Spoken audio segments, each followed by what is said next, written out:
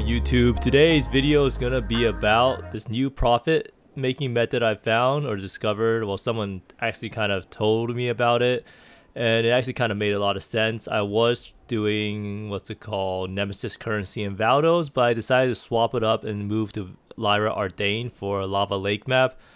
Reason we do Lava Lake map is the T16, which is very very good, and it also has a good boss and that it spawns a lot of rares, which helps out on Nemesis Sextant. I actually did get an Exalt on one of the mobs on the side over there, which is actually pretty amazing. But the strategy is pretty good because it allows us to use a lot of breach, and I'll go more in depth about it. Pretty much, it's kind of like an alternative to doing Harbinger, except I think the startup cost is probably a little bit less because all you need is four Chayula stones or four Beyond stones instead of one Auspicious. So this is just one method I discovered.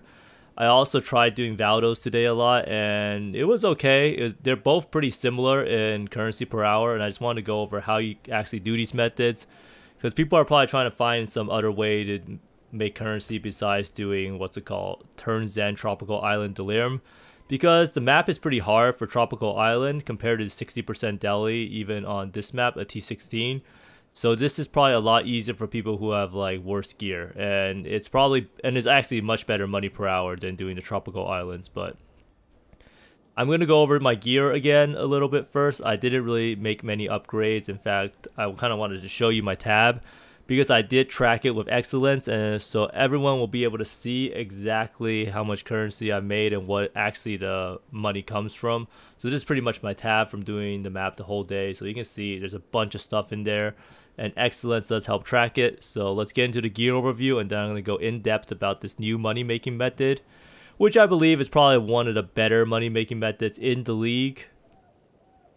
Because, yeah, besides doing 5-way carries, which according to some people is up to 100x per hour my gear hasn't really changed that much. The biggest thing I actually got was I finally got a 2120 spark. Now I thought it would actually add a lot more damage, but it wasn't like the greatest increase, but it's not too bad. It costs around 8x.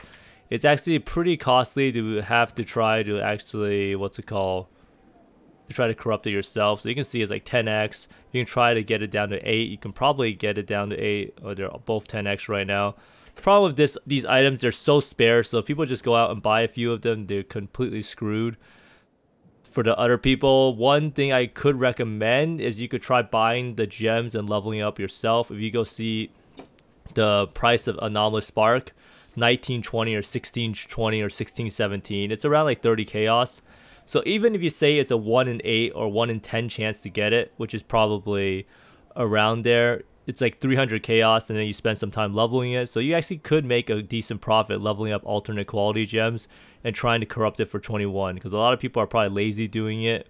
So that's just one thing you could do. I should probably corrupt some gems because I'm actually not using my offhand at the moment. So that's actually kind of bad. But as I've always said, the Nebulis needs to get better. I kind of really want to get one with multi and crit chance for spells. The helmet I don't really know if I want a suffix or not. I think the only suffix that would benefit me would be Chaos Res for now, but next on the list is probably getting an Aspect of the Spider, but Aspect of the Spider requires a lot of increased mana reservation or reduced re mana reservation jewels. So I think if I upgrade it so that I get one, two, and then I have maybe this one here, three, four, four. So I have four more mana reservation jewels to get. So a lot of people always ask me, how many RMR or mana reservation jewels are you using? And I'm pretty much using a reservation jewel in every single place except four, which is the two unique jewels, which are just too expensive for my blood at the moment. And then, what's it called? And then uh, two regular jewels, which I want more multi and damage. There also comes down to a pretty interesting thing, which is rolling a notable on one of these jewels. So you lose 4% effective non-curse auras, but you pretty much gain 15% more damage from having an aspect, right? So I do think that is the play, and I probably will incorporate it later on, especially once I get a few more points. Because if you think about it, the whole trade-off is you're losing 4% increased effective auras or 3% or whatever, and you're gaining a whole uh, what's it called? You're gaining So you lose 4% right here in some stats, but you gain 15% more damage on the aspect. So for this one, you would probably just roll like 35% increased effect and pure aptitude or something.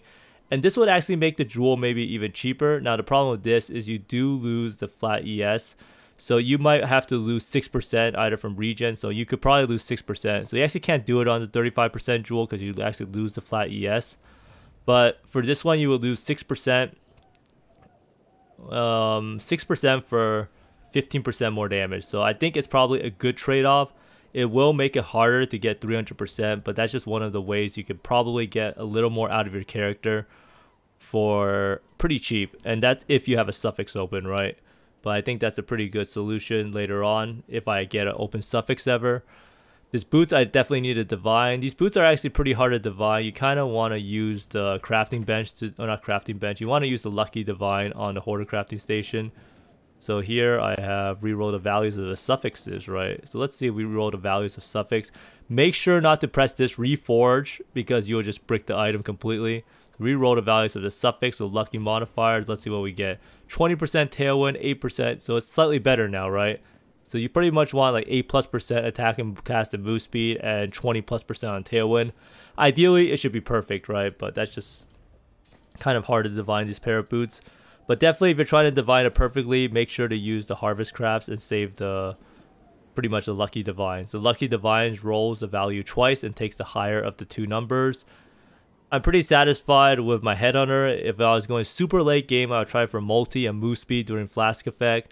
I do think move speed is very, very, very important as move speed 11% is pretty much a huge portion. It's actually more than an adrenaline roll on a quicksilver flask. So that's something to keep in mind. Hands of the High Templar, I did see a plus 8 pair, a plus 6 LE weakness pair up for 100x, but it got bought out, not sure by who. And as usual, I will try to be buying the plus 2 shavs to, what's it called? want to buy a plus 2 shavs to get uh, extra gem levels on Spark. So there's actually a cheaper way of doing it, right? So a lot of people might get confused about, oh, how come uh, plus 2 shavs could be cheap? And yeah, if you buy it right now, it's only seven. This guy's only selling it for 17 exalts, but you need to make sure the energy shield roll is kind of high. So you can see there's really no good well rolled ones besides this one for 50 exalts. So the main thing you can do is make sure it's not on six links. So if you're not doing it on a six link, you can see that they're pretty cheap. So you need to make sure one has quality. So this one here, this guy hasn't been on for seven days though, so it's kind of bricked. So this person's selling it for 5x, and it's kind of well rolled. And 5x, you get the Delve recipe to get 6 sockets. So that's it's already 6 sockets. So you pretty much just need to pay 1500 fusings and 1500 Vaal Orbs, right? And how much is 1500 Vaal Orbs? Let's see. Does anyone even have, like, let's, does anyone have 400 Vaal Orbs in stock? So 1500, let's use it in Exalt so it's easier to understand. So it's like 340, so it's at 160 to 1. Is that actually the ratio? Or is it just because my thing is too high? the 200 to 1, it's like probably like 160 to 1. So it's 10x in Vaal Orbs and then like 10x in Fusings or so. Or like 6x in Fusings, not 10x in Fusings. So 16x plus whatever the. So 16x or so to get it. And then the base was like 5x. So you're only paying 21 exalts total versus paying like 30 to 40x for one of these rolls, right? 50x or whatever. So these things are probably very expensive and it's pretty much just saving you the hassle of buying all the Vaal Orbs. That's just something to keep in mind when upgrading your gear because I do think a lot of people are probably at the point where they can get a plus 2 shavs. But anyhow, let's get on to the bulk of the video and the important part, which is probably the best money making method in Expedition League.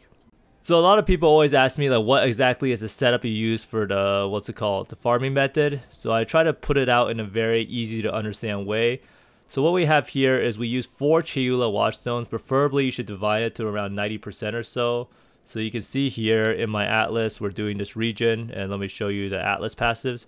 So Atlas passives, we're using all of these. That gives the 10 additional rare monsters and the breach opens and closes faster. And it also has some extra magic monsters. And then for a Blight, we have these that gives more unique monsters and Blight monsters spawn faster. And then this one drops maps with a blight encounter, which is actually pretty important because you can get a lava lake map which drops with an additional blight encounter, which means we won't need to use a blight scarab, which means that the map will be even more juiced than before. This snow makes it that we can get more blight maps from doing it.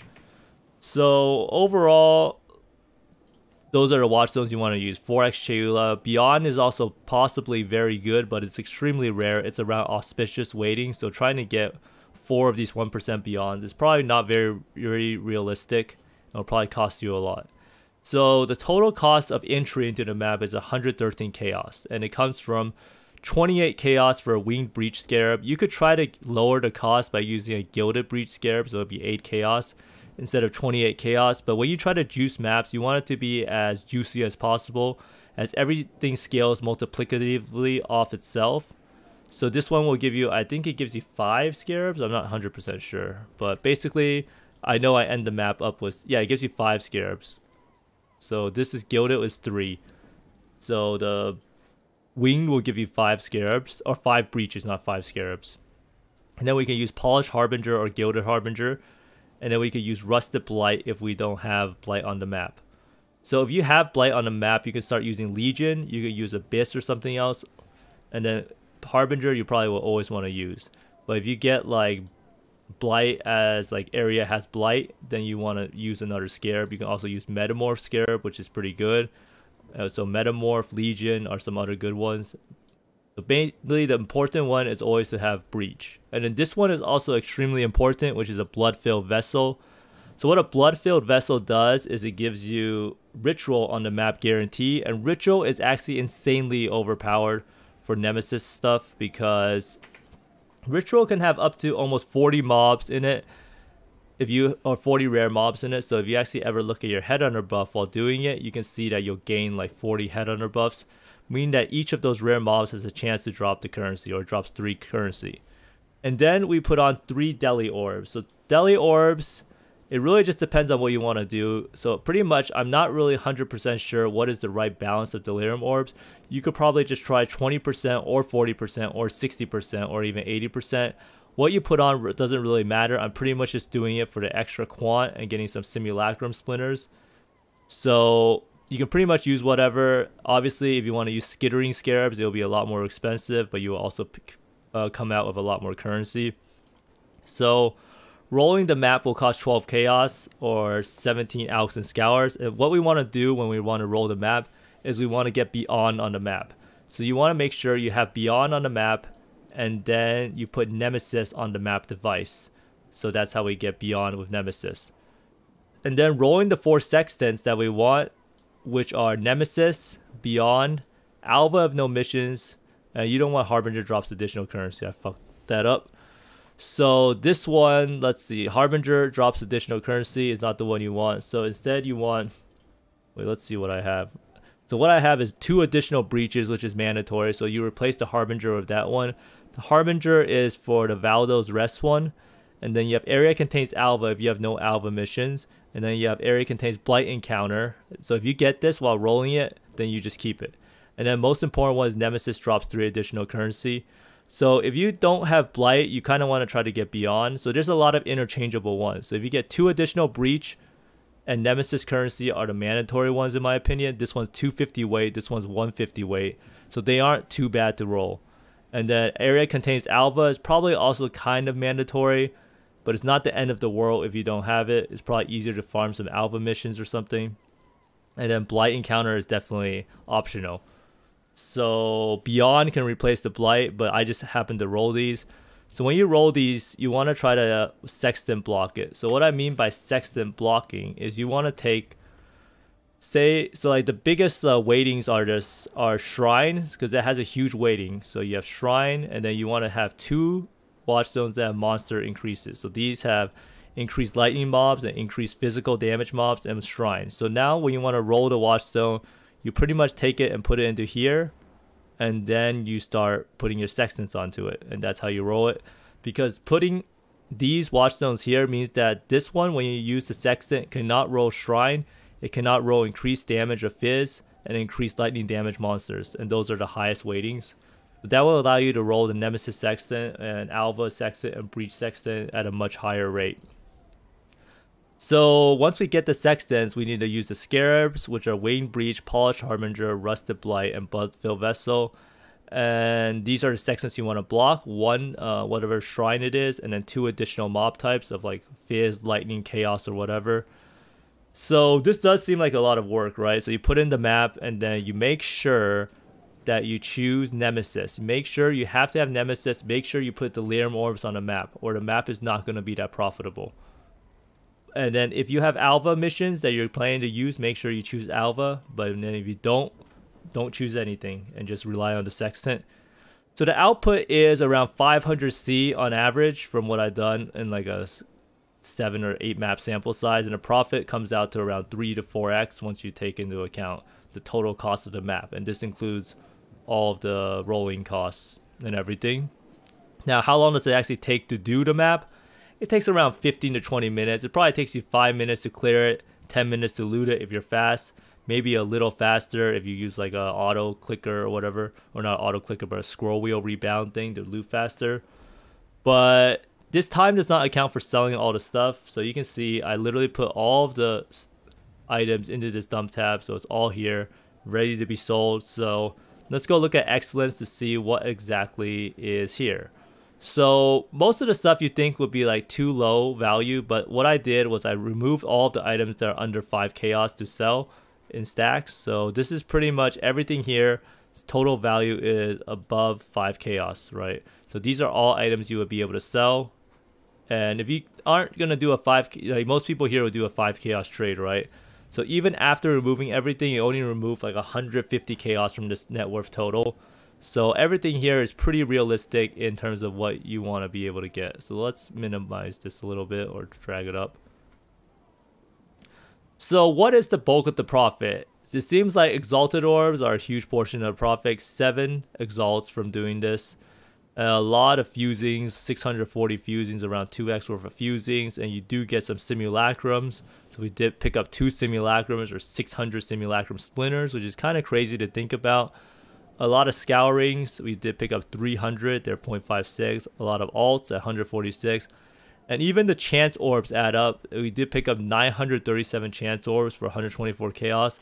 And here's the Chayula breach zone that we did. And then we also got some splinters of Chayula down here. So the Chayula does add a little bit of the profit. It's not the biggest. Now it says I only picked up 90 chaos, but this is wrong. I probably picked up like hundreds of chaos. It's just because I took out some of the chaos in the tab because I was too poor and I needed to buy some things. So, and I needed to buy some more map rolling. So this uh, number here is actually a lot lower than it actually is because I actually took out some chaos to be able to afford to roll the maps. And then Regal Orb. So you can see it's just a lot of random little currency things. Lava Lake, which we got six of. Blessed Orbs. So all of this stuff you can pretty much sell in bulk. Like a lot of Blight Scarabs, Gilded Sulfite Scarabs. Prime Sextants, Awakened Sextants. Awakened Sextants is also a lot higher, probably like a couple, almost 100 or 200, I think, because I took them out to roll more maps.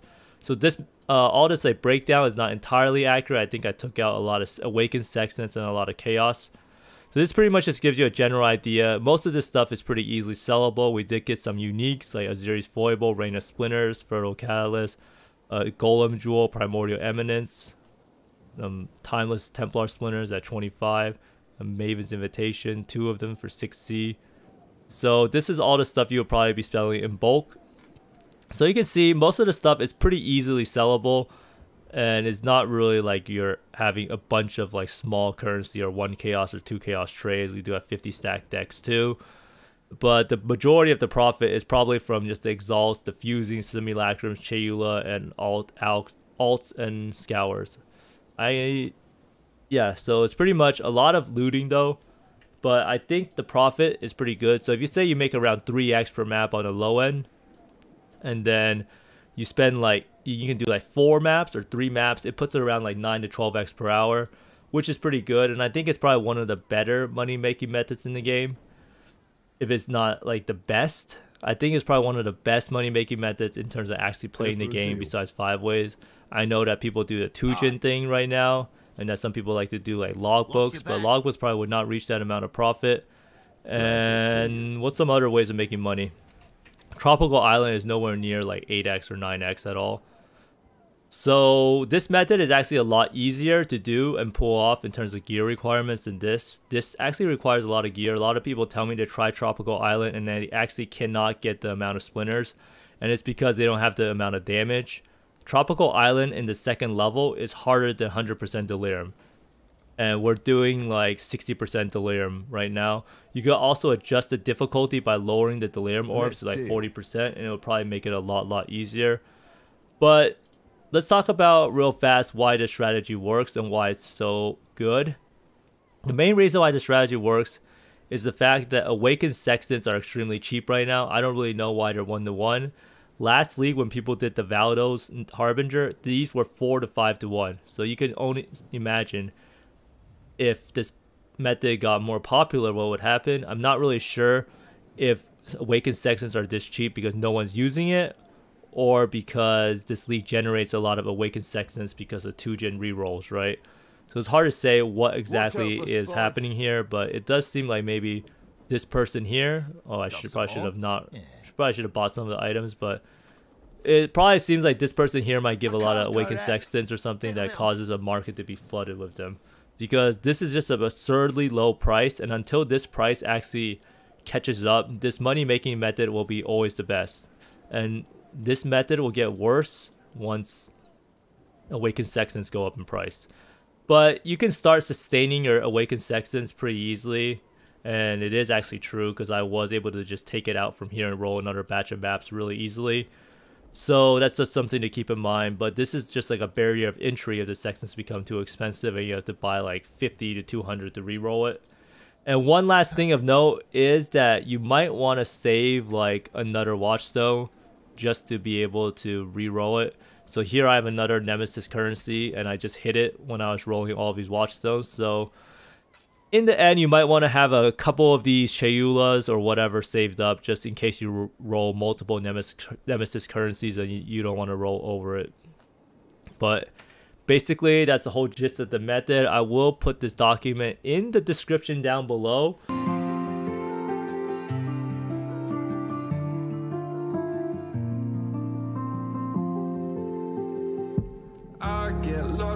Inside my thoughts And when I start to think Oh, the tunnel closer starts to end up on the brink.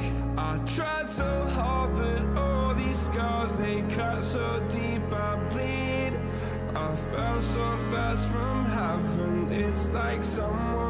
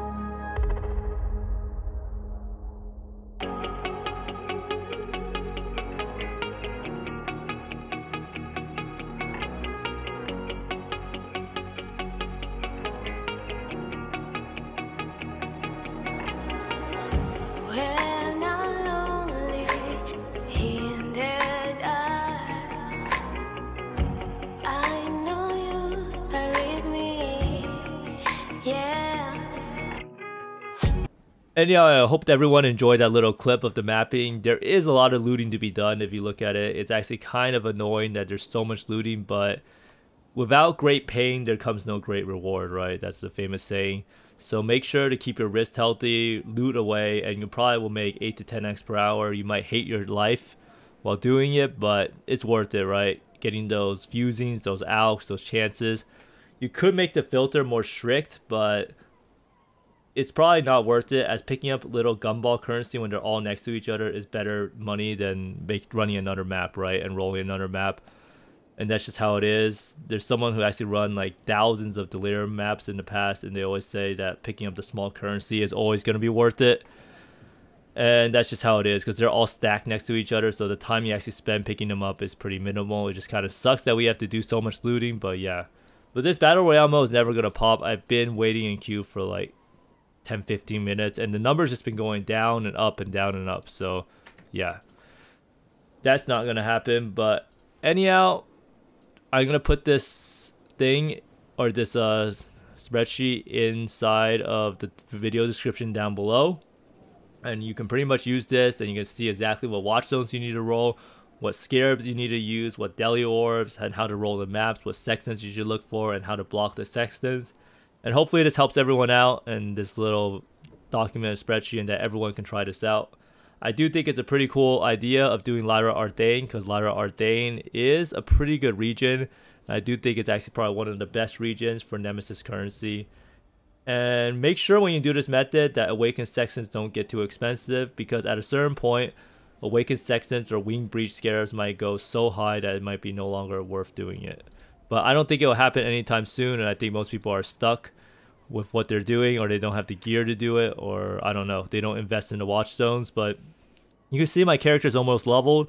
You actually get pretty good XP doing Lava Lake too, because Lava Lake is a T16 map.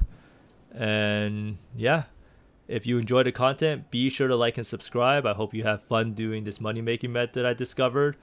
And they see you next time, and I hope you find more mirrors and exalts than I do. Bye.